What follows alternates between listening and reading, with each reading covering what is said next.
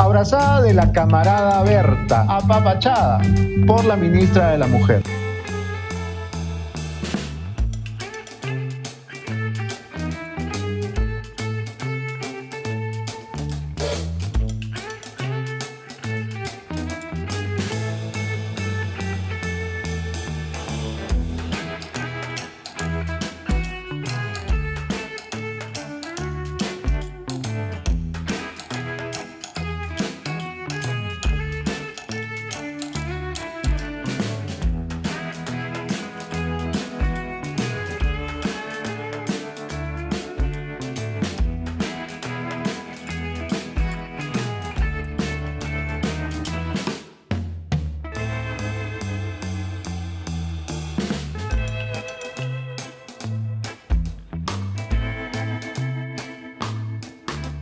Pensar que los derechos humanos o todo aquello que se vincule a los derechos humanos, ya sean organizaciones políticas, organizaciones de la sociedad civil que hacemos defensa de derechos humanos, o incluso instituciones eh, del Estado, ¿no? Eh, como el propio Ministerio de Justicia, pero las direcciones que están vinculadas a derechos humanos sean eh, lo que tiene que ver con el terrorismo.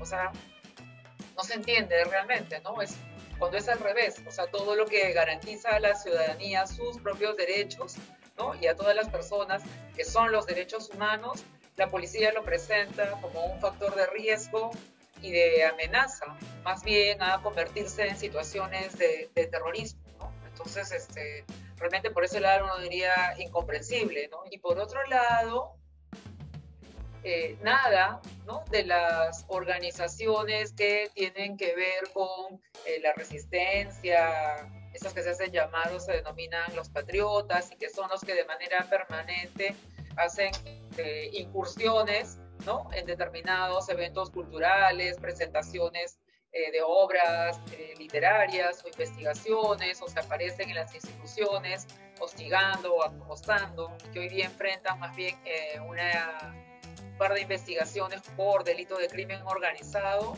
no figuran en el radar, por lo menos hasta ahora, de lo que se ha eh, filtrado de estos documentos de la, la Dirección Nacional de Inteligencia. ¿no?